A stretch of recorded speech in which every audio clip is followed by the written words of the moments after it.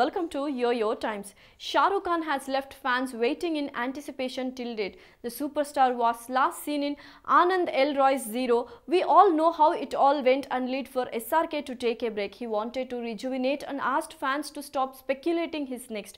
Till date, there has been no official announcement but just rumors. The latest includes Siddharth Anand's Pathan. Previously, we have heard about Rajkumar Hirani, Atlee Kumar Raj and DK approaching SRK for his next. It is till date rumored that the Three Idiot director's film is happening. As for Atlee, some improvements were in process. However, amidst it all, making the most noise currently in War director Siddharth Anand's next film. Gossip will now has it that John Abraham will be a part of Pathan 2. The film will witness Shah Rukh Khan and John Abraham pitted against each other. Since the film is a big budget actioner, we can only imagine the blockbuster it is already screaming for itself, trending.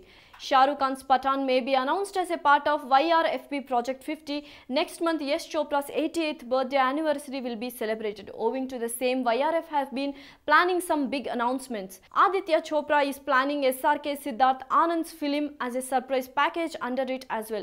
Previously, a source close to Pinkvilla had revealed that Deepika Padukone will be a part of Pathan 2.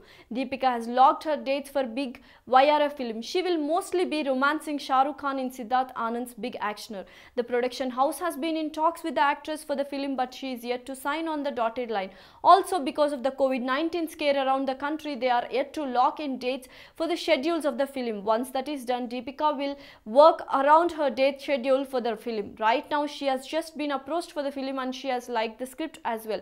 It's a powerful role for the female lead as well revealed their sources. Well, are you excited for this big feat? SRK Deepika Padukone plus John Abraham. Stick to this space for more updates. Música